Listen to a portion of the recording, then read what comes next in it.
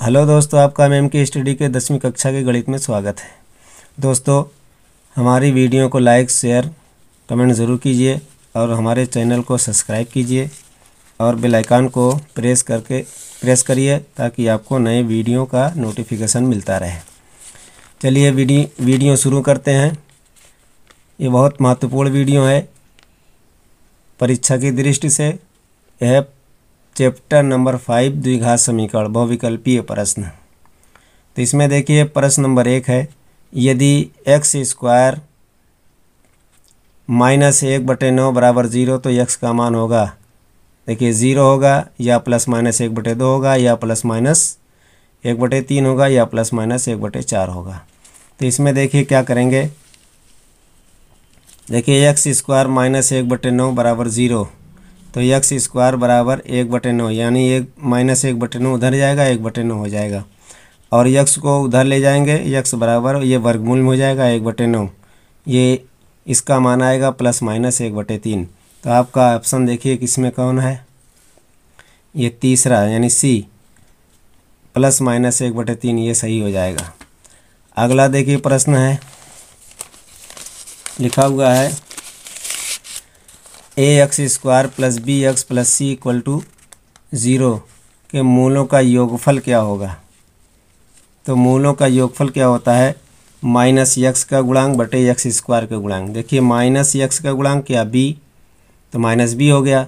और x square गुणांक ए तो हो गया माइनस बी बटे ए देखिए, कौन सा है? ये डी वाला सही है आपका।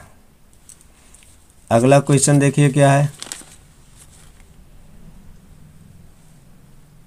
अगला क्वेश्चन है क्वेश्चन नंबर थ्री दिया गया है two x square plus one equal to thirty three यानी तैंतीस. तो यक्स के मान होंगे चार माइनस चार प्लस माइनस तीन या प्लस माइनस चार.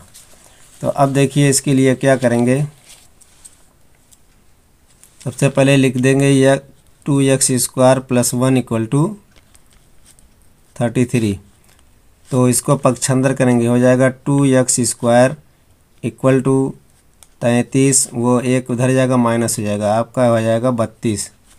तो अब देखिए two x square equal to आपका आ गया बत्तीस.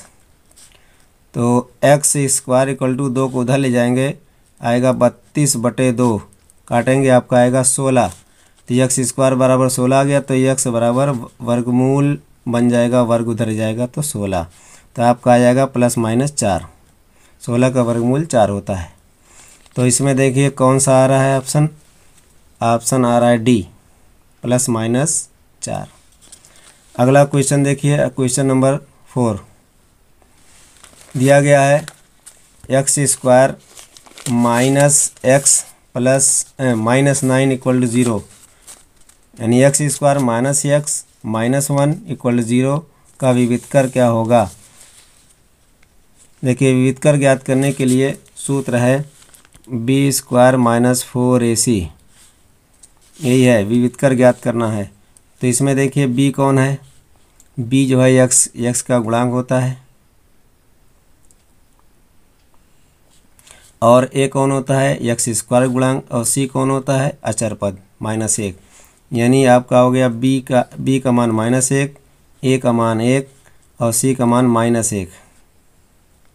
तो यहाँ रख दीजिए। बी की जगह माइनस एक माइनस एक का स्क्वायर, माइनस चार गुड़े एक के स्थान पर लिखेंगे एक, और सी के स्थान पर लिखेंगे माइनस एक। तो एक का स्क्वायर एक, या माइनस माइनस का गुणा करेंगे, यह हो जाएगा प्लस चार का एक में गुणा करेंगे, आपका आएगा चार। तो ये आप, आपका आ गया चार में एक जोड़िए पाँच। तो इसमें देखिए कौन सा ऑप्शन है? ऑप्शन नंबर डी, पाँच। ये आंसर आपका हो जाएगा। उसके बाद देखिए क्वेश्चन नंबर फाइव। दिया गया x square minus twenty five equal to zero को कहते हैं। एक द्विघात समीकरण, ए नहीं, एक घात समीकरण या शुद्ध द्विघात समीकरण या मिश्रित द्विघात समीकरण। तो देखिए,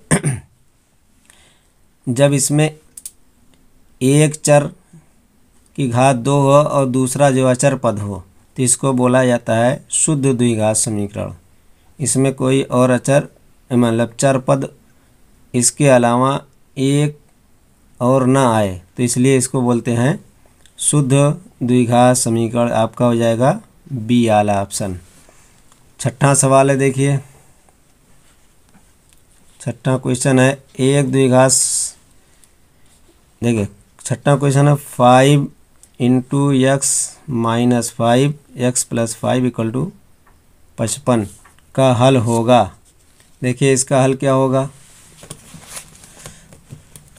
इसको देखिए कैसे हल करेंगे।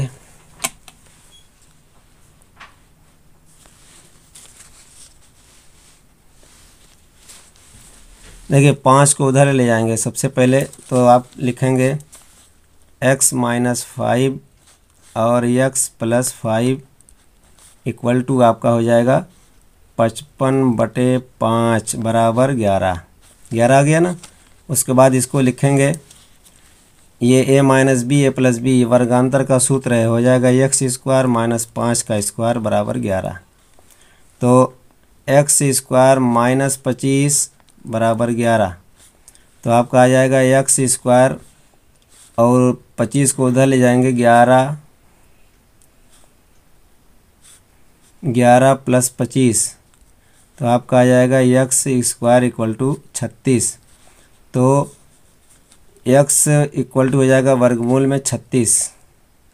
तो इसका जो है प्लस माइनस छः आएगा। देखिए कौन सा ऑप्शन आ रहा है आपका? पहला ऑप्शन है प्लस माइनस दो, दूसरा है प्लस माइनस पाँच, तीसरा है प्लस माइनस छः और चौथा है प्लस माइनस सात। तो प्लस माइनस छः आ रहा है, यही आपका ऑप्शन सही हो जाएगा। धन्यवाद। अगली वीडियो में फिर मिलेंगे महत्वपूर्ण प्रश्नों के साथ। तब तक के लिए धन्यवाद।